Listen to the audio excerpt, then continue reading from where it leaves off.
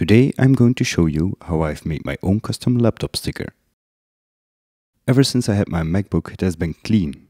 I haven't put any stickers on it and I think it looks a bit boring. There are a bunch of cool stickers available that you can buy off the shelf. But I didn't want any of the cliché Apple parodies, like the Snow White for example, or the Superman, or the Apple Juice box. Although some of them are really nice, like the Man with the Apple on His Face, which is a parody of the painting Le Fils de l'Homme by the Belgian surrealist painter René Magritte, I really wanted to make my own sticker that covered up the apple while still using the light it emitted. I googled a bunch of limbo sceneries until I found this one on DeviantArt that was made by Nollaig. She made this really nice vector drawing. Be sure to check her work out. She has a lot of really cool drawings most of them are Disney and DreamWorks themed ones. You can find a link to her work in the description. I saved this image to my desktop and I did the same for the Apple logo. Once I have downloaded these two images, I can import them into Inkscape. First of all, I'll log their aspect ratios to make sure that these don't change while I'm resizing them, and I'll give them roughly the same size for now. Next up, we'll need to convert these images into vector drawings. What I have here is a raster image, which means that it consists solely out of pixels. And when I zoom in a lot on this image, you can see these different pixels. But the vinyl cutter doesn't really know what to do with it. It needs the vector lines in order to follow those with the blade and cut them out. We can create a vector based off our image by selecting it, going to Path, and then selecting Trace Bitmap. When we now turn on the live preview, we are able to see what the computer thinks this image looks like. We can play around a little bit with the brightness cutoff setting. The threshold value can be set anywhere between 0 and 1, and when it's set to 0, every pixel will be imported as white, when it's set to 1, every pixel will be imported as black. But since this is just a black and white image, a value around 0.5 gives the best result. Just click OK now and a vector will be created and put on top of the reference image. You are now able to select and move this vector. You can also change the way it looks. We can change its color for example, or as we'll do for now, turn off the fill color and just show the stroke lines. This way we can easily see which lines will be cut by the vinyl cutter. When we now double click our shape, all the edit points of our cursor will display.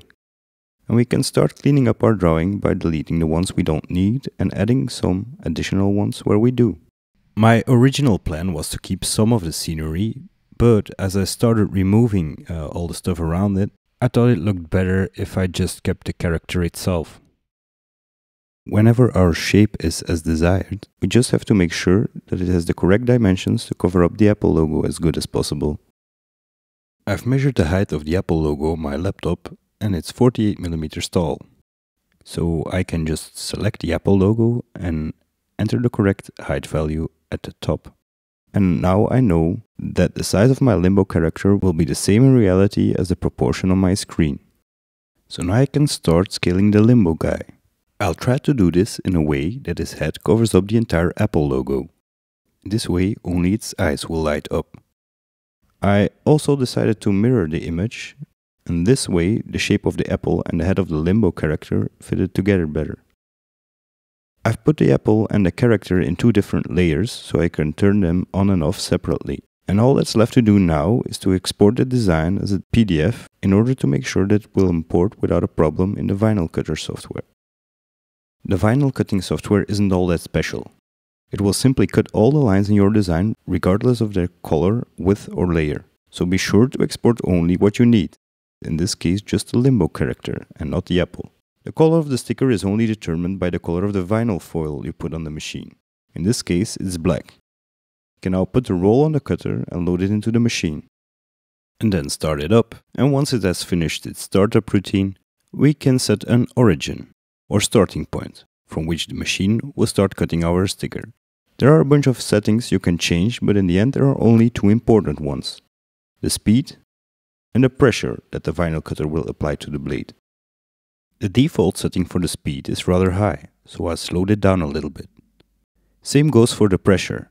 Since we are using rather thin foil, I also lowered it a bit, to make sure that it would only cut through the sticker and not the entire sheet. We only have to start the cutting job now and the rest is handled by the machine.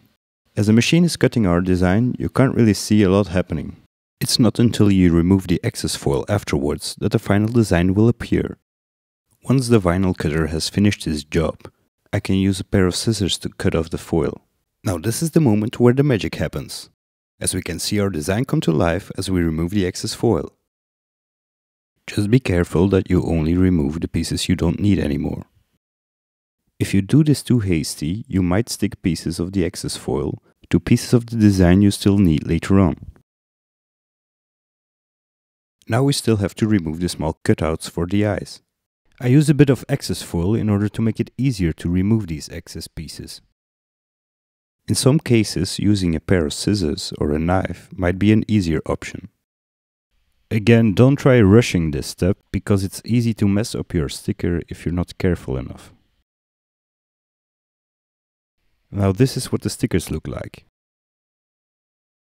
I've cut them three times and I've also cut them into separate stickers which will make it easier to apply them. Now I can position my sticker in the exact place where I want it, making sure it perfectly covers up the apple. Then I can get some painter's tape to keep it in place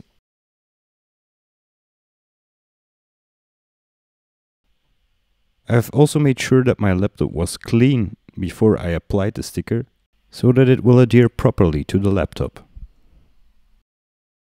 And then I can start by carefully peeling off the sticker. It's easier to apply the sticker by peeling it away while it's fixed in the exact location, instead of removing the entire sticker at once and trying to apply it in the correct place.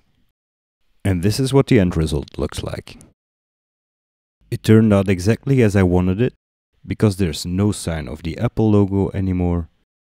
And I also think that the look that you get is a perfect match with the uncomfortably creepy atmosphere you experience in the video game.